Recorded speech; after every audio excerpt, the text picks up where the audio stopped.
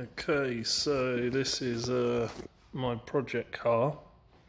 I did have it in um, Nardo Grey before, um, but now I've managed to purchase the spray gun kit and it does go on a lot better. Obviously, the first coat you do is just a light coat just to cover most of the paint, and then it's a matter of going over again with the spray gun. But hopefully, this won't have any streaks or any runs like it did before it had a bad reaction.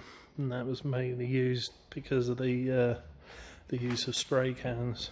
But obviously using that gun there is a lot better. But it's looking nice.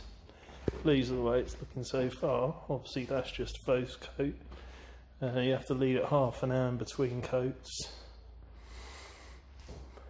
So that bonnet looks stripy but obviously that was just to give it a feather effect on there. There's a little bit of reaction happening here. It's touch dry. But hopefully once we put more coats on it'll cover that all up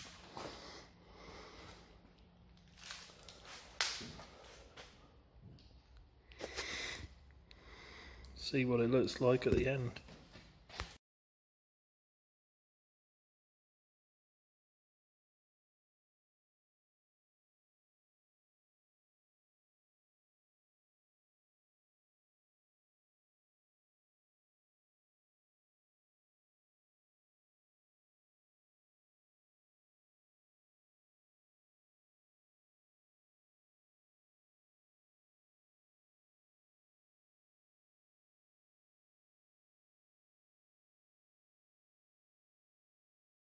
Okay, so I've uh, gone back around the areas that were bunk fungib. Okay, I've gone around now and done all the bits that were runs and damaged items.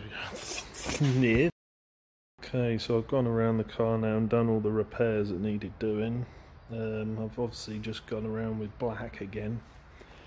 Um, but now I'm just mix some more red up and I'm going to put the flicker in the paint again around the whole car so I like the effect it's giving. I may even do a touch of blue to add to it. So just waiting for this to dry a little bit.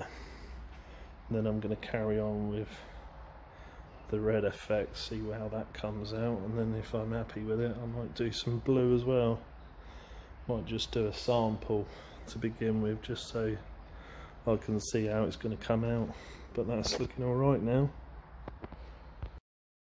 Okay, so I've had to do a bit more repair on there because it wasn't sticking, but I've repaired that. And I've also done that front bit again. So I've just got to put some red back into that, but rest of it's looking okay now. Few bits missing here and there, but it's a hundred times better than what it was before. Nardo grey just didn't suit it really, but this red's nice, got a flicker to it, so I'll put some lacquer over the top to protect it, and hopefully it'll last for a few years, I reckon. Unless I get bored and want to change it and do the blue that I've got mixed here. Course if I do get bored it's only a matter of peeling it off. Just didn't think it looked blue good blue so I've kept it with the red. I think it looks nice